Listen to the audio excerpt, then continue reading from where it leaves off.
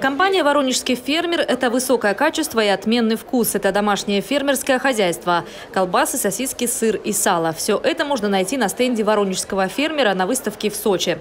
Куропатка с апельсинами, запеченная в печени, гусь с яблоком, утка с черносливом, перепелка с брусникой, различные сыры, сулугуни, копченый брынза. Сало, как говорят в компании, мягкое и тает во рту, с чесноком, соленое в рассоле.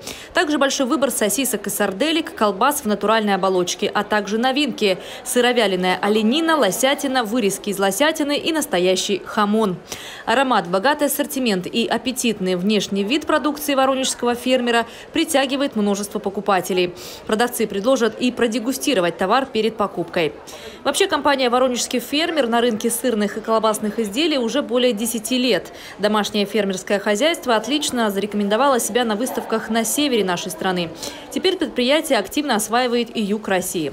Познакомиться ознакомиться с продукцией, заключить договоры или просто приобрести к столу колбасы и сыры компании «Воронежский фермер» можно до 13 октября на выставке «Экспофуд».